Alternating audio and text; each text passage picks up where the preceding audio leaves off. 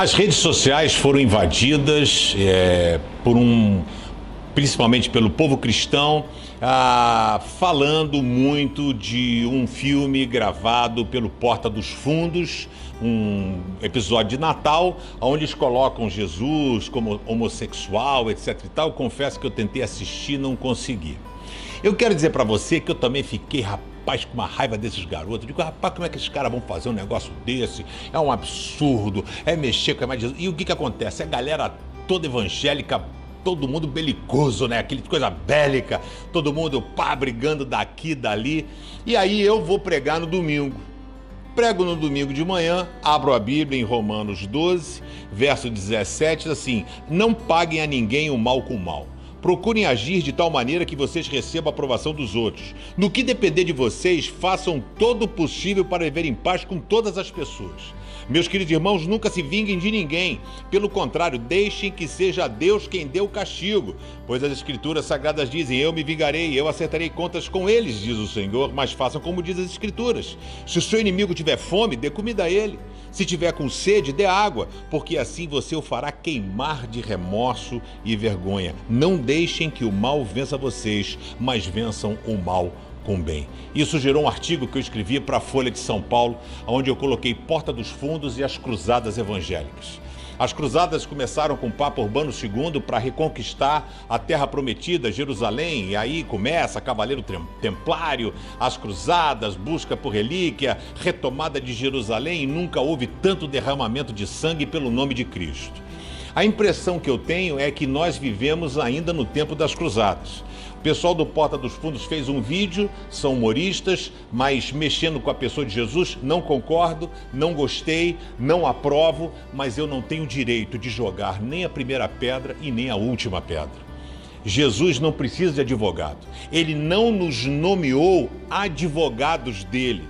Ele pediu que nós fôssemos testemunhas dele, ou seja, vendo o que ele fez, nós vamos testemunhar reproduzindo aquilo que ele fez.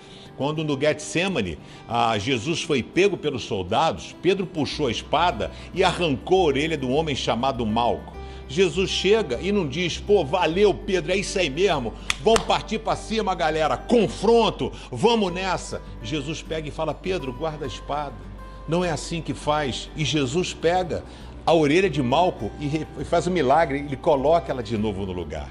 Sabe o que me causou espanto? Eu também estava nessa, eu quero tentar fazer com que você abra os seus olhos.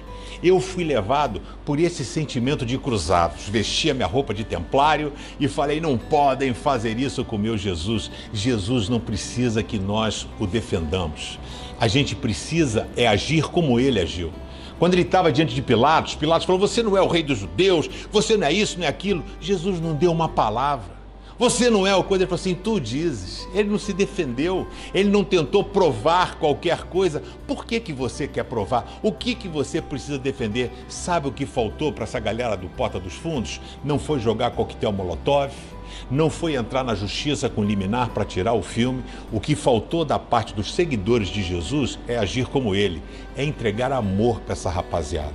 É, sabe, dizer assim, cara, olha, não concordo com você, mas o Jesus que você fez, ele ama demais você. Ele quer mudar a sua vida, ele quer caminhar contigo. Se nós tivéssemos mudado e ao invés de ficarmos jogando pedras, nós distribuíssemos flores dando amor, quem sabe a vida dessa rapaziada não seria impactada pela forma do cristão? Tá ficando chato, viu, gente? Sempre que tem alguma coisa com os cristãos, a gente catar as pedras, o pedaço de pau e partir para cima. Não é isso que Jesus ensinou. Eu mudei numa pregação que eu fiz. A ninguém façam mal né? não se viguem de ninguém. No que depender de vocês, tenham paz com todas as pessoas. E é isso que nós temos que fazer. Galera do Porta dos Fundos, Jesus ama vocês. E ele tem um plano maravilhoso para a vida de vocês. Olha, um beijo no coração, que Deus abençoe, que Deus guarde vocês, que Deus guarde a sua família, que Deus os abençoe profundamente.